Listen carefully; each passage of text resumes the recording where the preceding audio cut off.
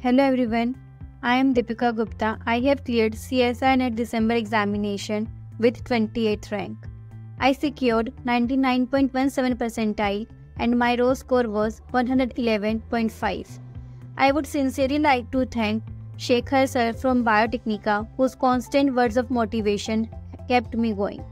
As there were times when I felt demotivated or depressed, but his morning words kept me going and helped me a lot.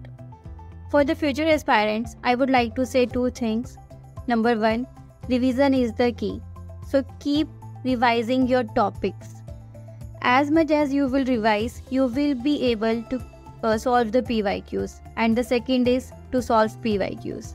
Yes, if you want to clear your exam, you have to solve the PYQs because only that way you will be know where you stand and how much you have grabbed the topic. These are only the two success mantras. At the end, I would like to say if I can, then you can. So keep revising and keep practicing. All the best.